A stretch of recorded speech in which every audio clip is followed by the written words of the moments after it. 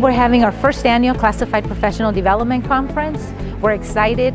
It, we're hosting over 600 Madera Unified classified employees.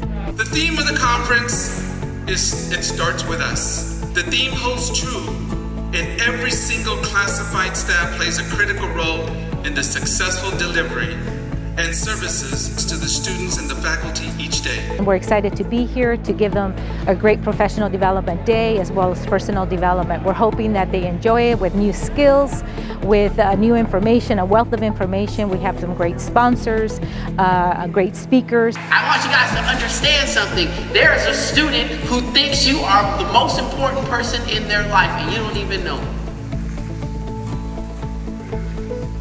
Sometimes you're the only mom that they get.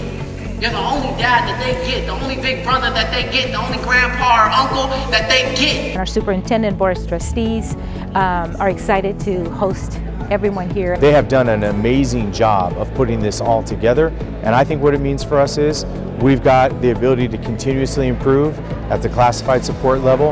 I don't think that'll ever go away from this point forward. So this is just the first one, more to come. We hope to make them better every year that goes by.